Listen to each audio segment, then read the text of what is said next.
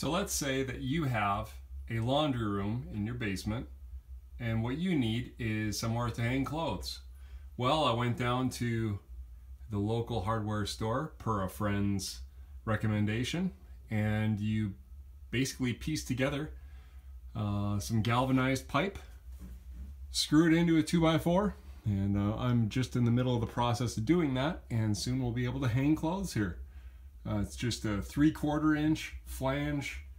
Uh, that's a six inch by three quarter nipple. And then a T, which is obviously three quarter inch.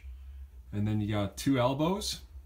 And based on your length that you have, here's a, a length of three feet. And on the other side, I'm also gonna have a length of three feet.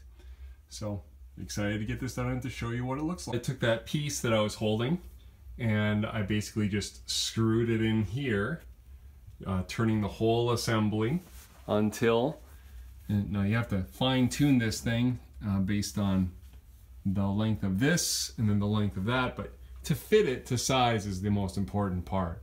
So I turned it into place. Here you can see that it turns a little bit.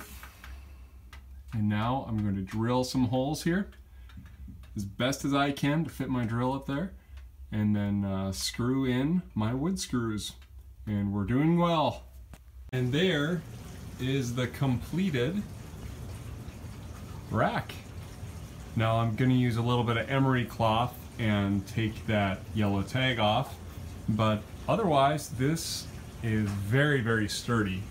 Honestly you could you could do pull-ups on this bar and it wouldn't budge but three quarter inch galvanized pipe uh, will help you to accomplish this wonderful task. Have a great day.